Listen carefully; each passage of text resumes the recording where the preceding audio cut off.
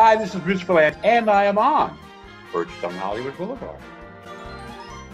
You speak of the Academy Awards. You know, you you wrote for them like a really long time, from 1989 to, to 2014, and, and various hosts like Billy Crystal, Whoopi Goldberg, David Letterman. Uh, what's it like to just you know sit in a room and do like you know all this writing for for these shows? And how much is there you know changing of what you're doing before it starts? Well, it's it's different for each host. Mm-hmm.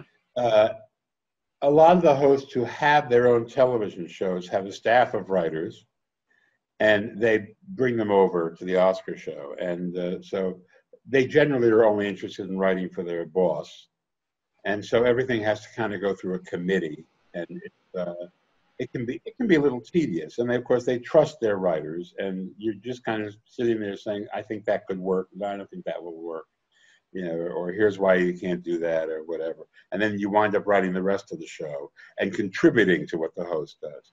When it's somebody like Steve Martin or Whoopi Goldberg, uh, or uh, Anne Hathaway and James Franco, although he hired a staff of his own. He, he had Seth Rogen come in, not Seth Rogen, Judd Apatow, with a bunch of writers from Seth Rogen movies mm-hmm. who, uh, who work on it but when you work with somebody who doesn't have, that's in Billy Crystal, for example, uh, then you really are, you sit in the room every day and, and figure out where they are in the show, what they follow, what they have to introduce, what the, if there's a theme. We had a producer who did 17 of them, Gil Cates, who always had a theme of the evening, uh, whether you liked it or not. uh, and you, you uh, figure out what it's going to be, and you kind of put a playbook together of what we will say at this point and what you will say at that point. In addition to the opening stuff, I mean, with Billy, the opening stuff is like a 20 minute special. Yeah. It grew. It was, the medley was first, and then the movie came. The movie was because uh, the year of the English patient. Nobody had seen the movies had we known the English patient was going to win like nine awards, we would have uh, written a lot about more about that.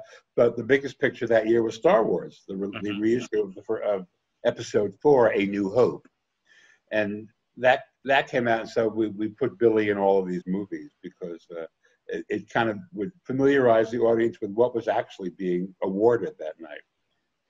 Anyway, so uh, on the night itself, no matter who the host is, uh, I'm on stage uh, in the little host room off stage left, and we are pl- plotting as we go along to see if there's a place where we can do jokes, mm-hmm. where we and it would change what we've written, and that started when when Jack Palance. We have to thank for that because uh, he came out. He uh, a year Billy was hosting, Jack was nominated for City Slickers, which was Billy's movie and he won and came out and he was profane and he did one arm push-ups and it was crazy. And because they have a relationship already billy could then come out and as my mother would say make blutter from him for the rest of the show. Just one joke after another. And uh, and so that became a kind of template and everybody wanted to, to do a thing like that because they want the sh- they want to feel like uh, they're in the moment mm-hmm. and it's a it's a live party and there's spontaneity. Everything isn't canned because generally everything is canned except what the winners have to say, and that is often where you get the the, the moment, as with Jack Palance, to come up with something to comment on what they just did, because you know a lot of people behave idiotically when they win these things.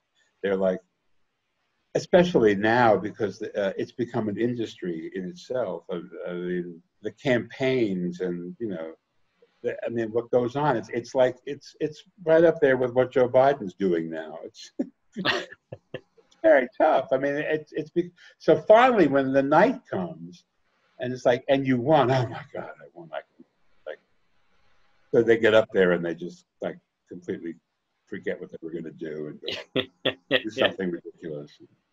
We, we of course we pray for that. If we can, if we don't get that it's better you get somebody who really has prepared and really knows what they're doing and has something good to say. The worst is when you get somebody who's just up there hemming and hawing and doing a laundry list of thank yous and and all of that. But but I've said too much. Yeah, and then the light fades down on them and goes to commercial break. oh, the worst, the band comes up. They get the bums rush in rhythm. Yeah. I've seen plenty of that when I watch those.